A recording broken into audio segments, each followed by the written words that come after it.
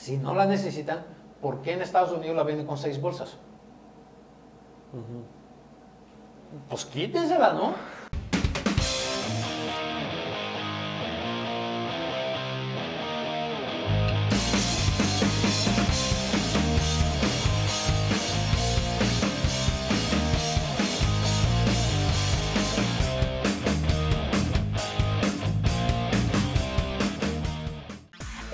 A Tixus Autos.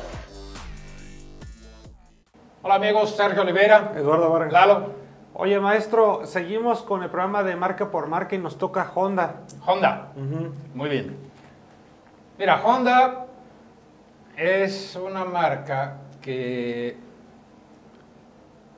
toda su vida ha basado su, su producción de, de- de- en general, tanto de autos como de motos, como de productos de poder, marinos, etc., en la calidad. Porque ese ha sido, digamos, o esa ha sido la motivación que eh, tuvo Soichiro Honda para hacer sus cosas. ¿no? Ellos empezaron con motocicletas. De hecho, Honda empieza cuando él decide poner un motor a una bicicleta. Y les fue tan bien que la gente le empezó a pedir más y más y fue creciendo y lo fue haciendo. Es de los pocos extranjeros que está en el Museo de la Fama del Automóvil en Detroit.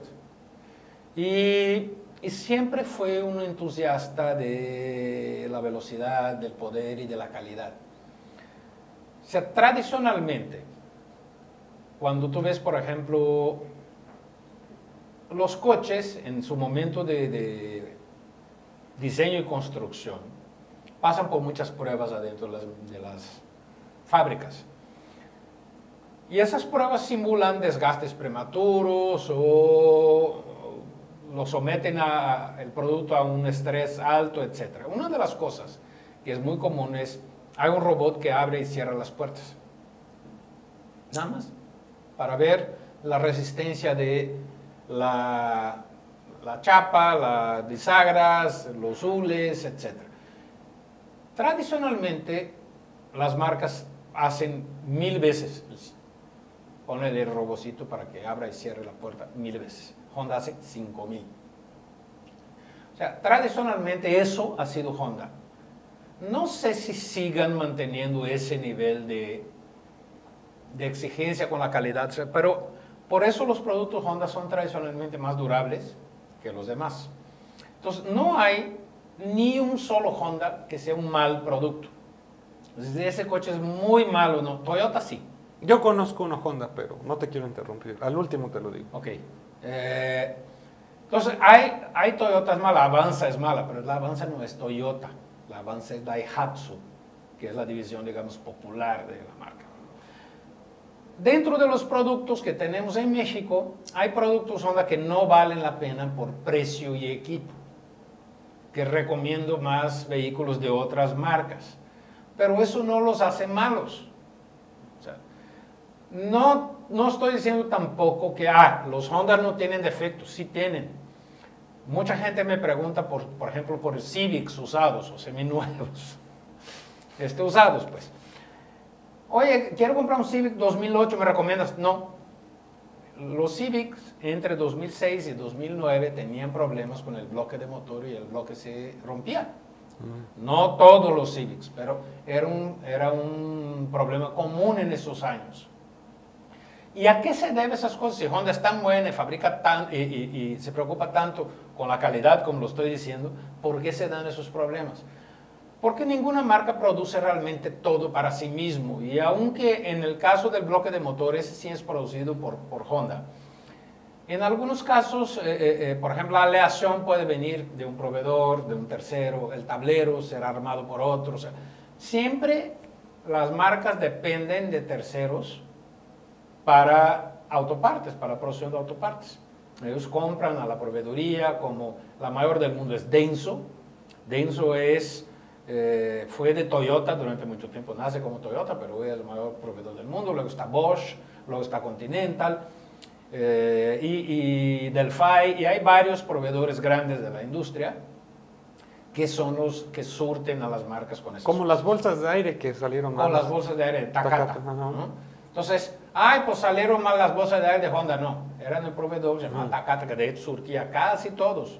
Y se fue a la quiebra, porque pues, fue realmente un problema muy fuerte el, el que tuvo. Y un problema difícil de prever. Pero bueno, ahí está. Ahora, vamos modelo por modelo. Sí, mira, en su website eh, empieza con el Civic Type R de 729 mil. Ok, vamos por el orden de los productos según aparece en la página de Honda. Pero antes vamos a un corte. Ok. Vamos a un corte, ahorita regresamos. Enseguida volvemos.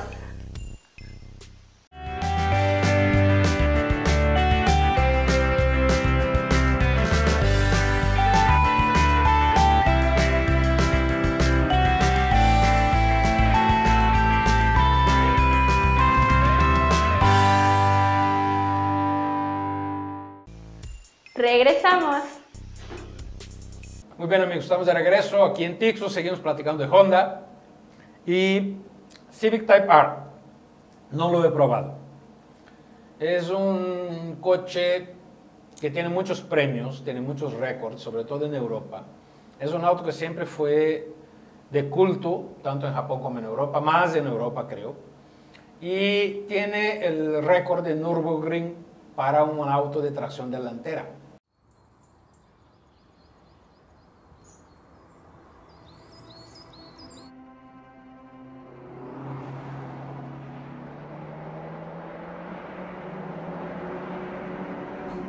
車は正直でドライバーに素直に返事を返してくれます。だから車は素晴らしい。物心がついた頃からずっと車が好きでした。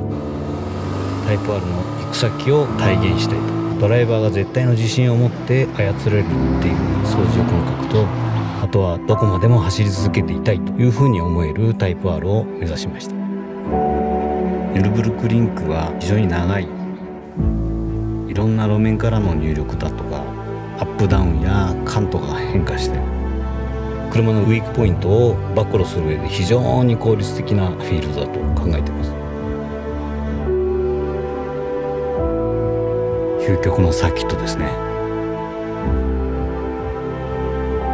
普通の車の開発に傾ける思い以上の思いっていうのがこのタイプ R の開発メンバーからにじみ出てるんですよね。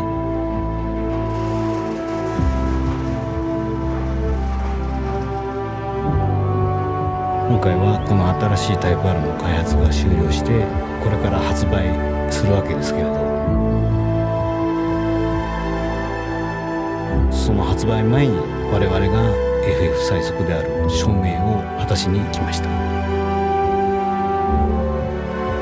グリーンヒル。地獄でもありますけどいい車を作る上では天国でもあるのかなと。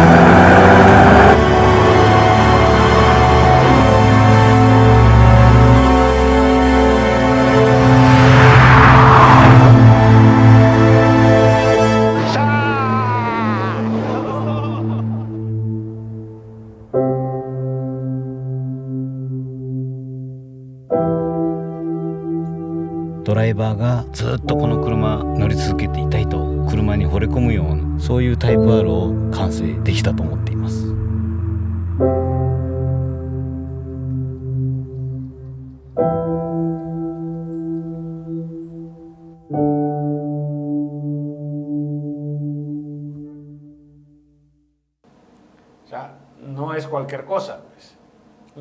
Con 305 caballos, creo, 306 caballos de fuerza, con un peso relativamente bajo y un diseño que me parece demasiado radical. Me suena así como a Fast and Furious.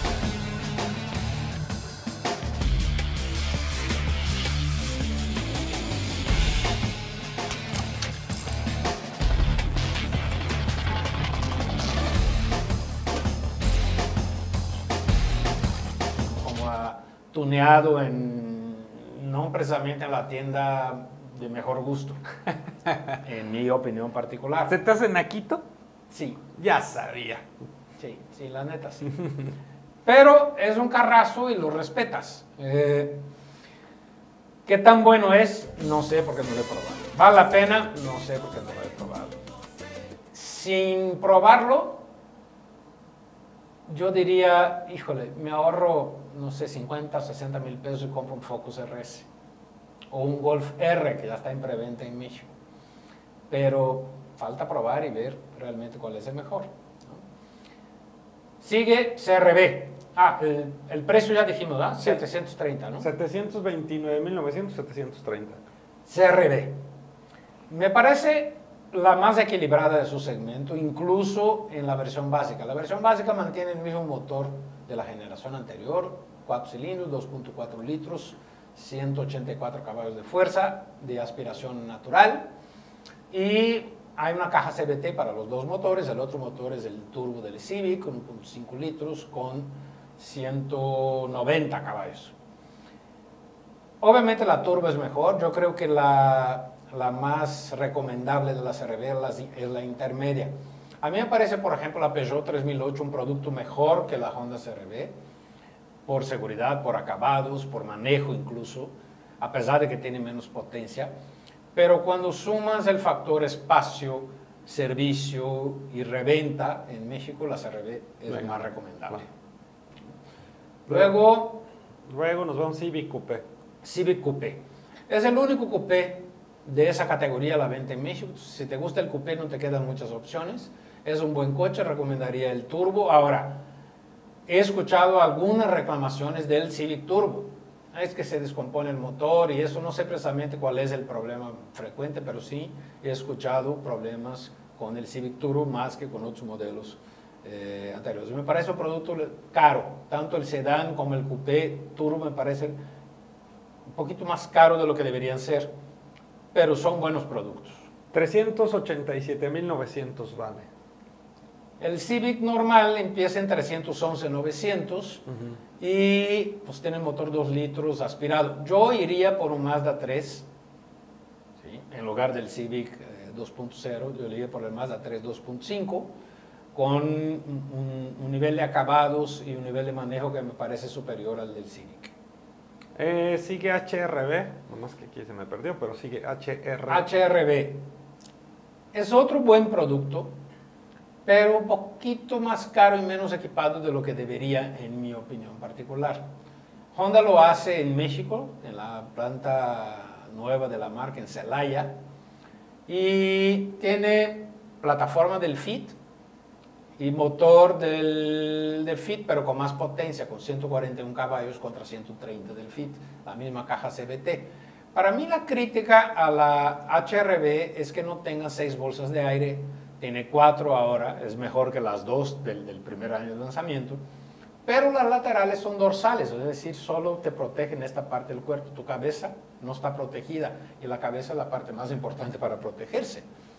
Entonces, esa es la crítica que le hago a la HRB. Cuando tú ves productos como la Hyundai Creta, que tiene seis bolsas de aire desde la base, o la Suzuki S-Cross, que desde la GLX, no la base, pero la GLX ya tiene un precio por debajo de 300, alrededor de 300 mil pesos, ya tiene seis bolsas de aire, o la Vitara, que ya tiene siete bolsas de aire en algunas versiones.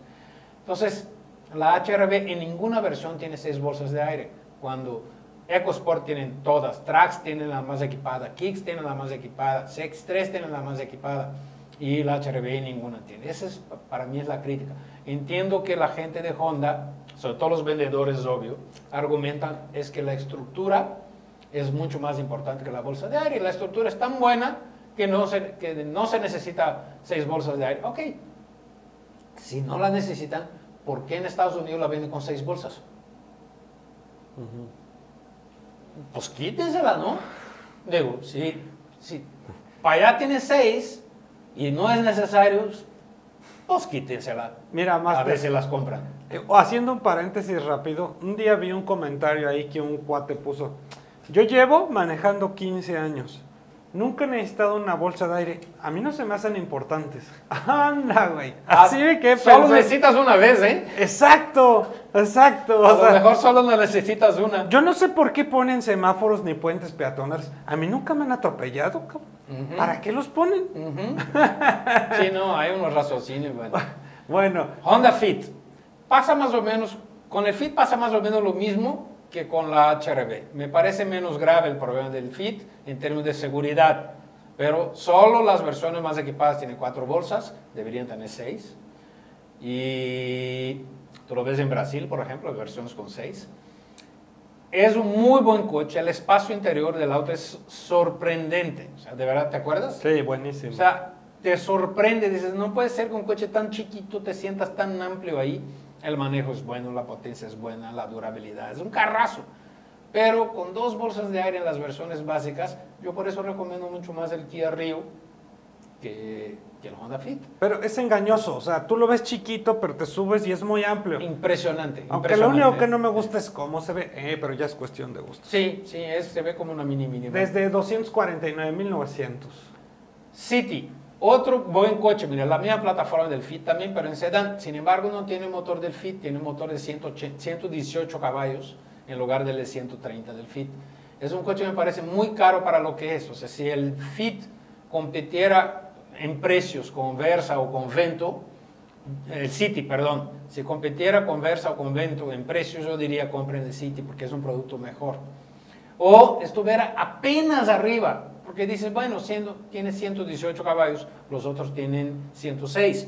Ok, ponle 5% arriba. O sea, son 5% más de caballos, ponle 5% más de precio, 7% más de caballos, 7% más de precio. Pero no cuesta 250 y el Versa empieza en 190. No, pues 60 mil. O sea, sí. es mucho dinero. Por eso yo siento que un Versa es mucho más valor por tu dinero. Tampoco es que el sitio ofrezca así mucho más en términos de, ay, el manejo es espectacular y tiene mucho más seguridad. No, nomás es Honda. Y hay mucha gente que compra Honda así como, ay, es Honda, wow. Repito lo que dije en un principio, sí, Honda, en mi opinión, no tiene malos productos, pero tiene productos que no valen la pena por su dinero. Yo creo que el City es el principal ejemplo. Luego el Accord de 393.900 desde. Este es el modelo 2017, el que está ahí. El 2018 es una nueva generación. Con el 2018, que debe llegar en enero o febrero, desaparece el, eh, el modelo V6. Habrá dos, dos cuatro cilindros turbo. Uno es el mismo de City y, perdón, de Civic y de CRV, 1.5 litros. Y hay otro nuevo, 2 litros, también turbo, que viene en el Accord. Entonces, vamos a ver qué tal se siente. Tradicionalmente, el Accord ha sido mi favorito y el favorito de muchos en su segmento. Sí. Es un coche amplio, durable, de buen manejo. o sea, yo paso un rato sin manejar un Accord, vuelvo a manejar, y digo, qué buen coche es. Y el V6. El chingón. V6 sobre todo, Sí. es, wow.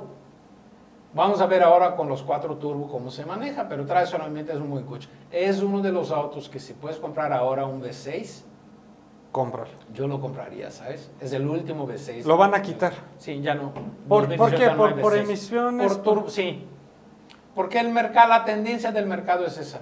Irse Es- achicando. Sí, es poner, sustituir los 6 por 4 turbos. No, y al rato va a ser puro eléctrico. Más, Al rato a ser al rato eléctrico. puro eléctrico. Ya ves en California ya quieren. Sí, ya bueno, ahí. ¿eh? ya, ya están amenazando que puro este, Es que a eléctrico. Malta no le gustan los eléctricos. No, sí me gustan, sí me gustan. Sobre Eh. todo el Volt.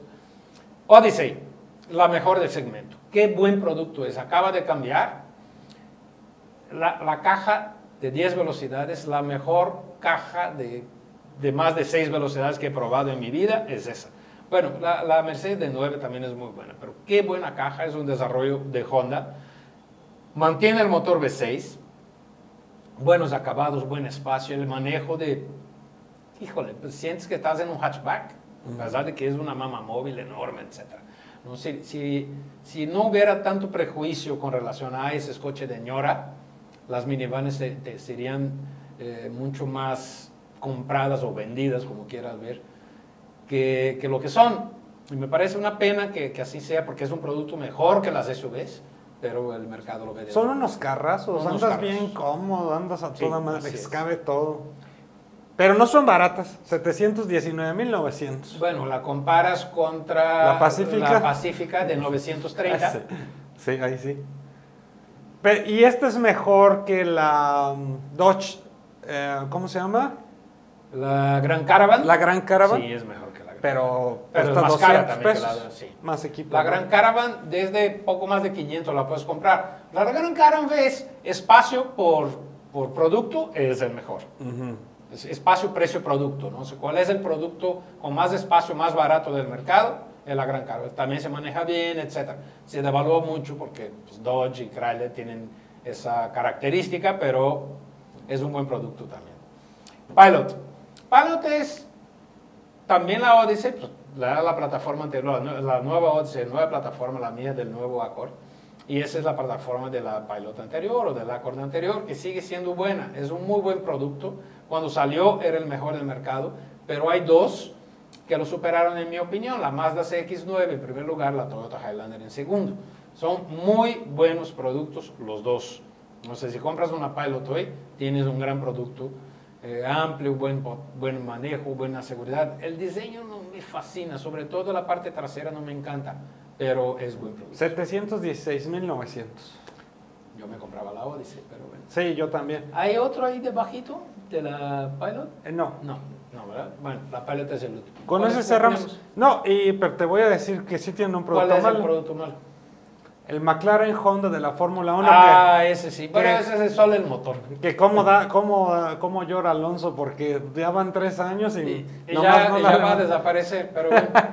ya ves que sí había uno malo. Dicen, dicen que Honda va a comprar Red Bull, a ver si es cierto. Vamos a ver. Nos vemos. Adiós. Bye. Hola amigos de Tixus Autos, los quiero invitar a mi canal de Chaborrucos. Ya tengo un nuevo video.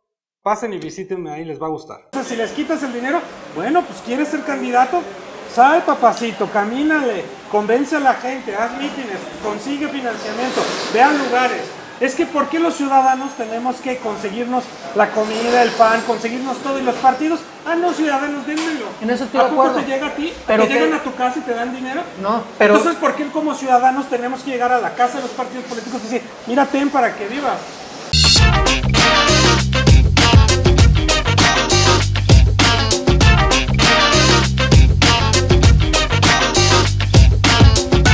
Suscríbete a nuestro canal, dale like, compártelo con tus amigos en redes sociales y recuerda, si quieres ver más videos, dale click aquí.